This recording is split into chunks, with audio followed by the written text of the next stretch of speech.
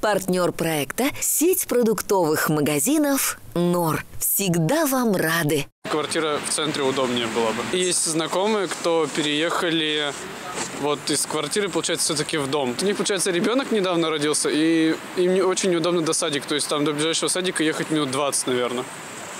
Да и в будущем школа тоже. Ну и магазин только один, и там не очень широкий ассортимент продуктов. Свежий воздух, во-первых. Можно, как бы, не выходя из дома уже выйти, и уже можно там шашлык делать. Живешь там детиташки, у тебя под окном кто-то ездит, там дети кричат, такое вот, нету там такого. И у, этот, птички, там, этот, кому-то нравятся эти звуки. Но благодаря этому, как бы я бы согласился. Я вот люблю ездить на природу, там, с палаткой отдыхать. Конечно.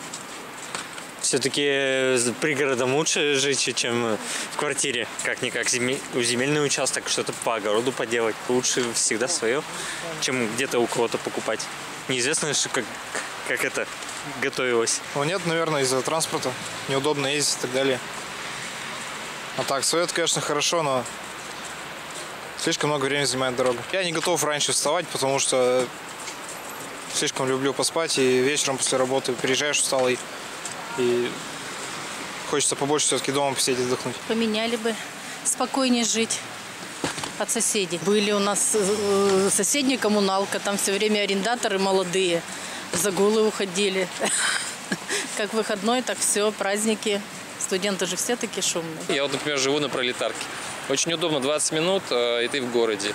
Хотя пролетарка, там лес рядом. То есть, и свежий воздух тут же. В лес за грибами, за ягодами на рыбалку, на природу, на шашлыки. Если дом был бы в течение 20 минут до города, я бы согласился бы жить, поменять, так сказать, а, квартиру в городе на дом загородный. Я бы согласилась, потому что за городом гораздо чище воздух и с детьми гораздо лучше проживать. Если ты имеешь свой дом, ты можешь оборудовать придомовую территорию, сделать свою собственную площадку, э, даже бассейн, э, не знаю, качели игровую, какую-то игровую площадку. В любом случае это лучше. Если более выгодно по квадратным метрам, почему бы не поменять? Сейчас квартиры тоже дорогие.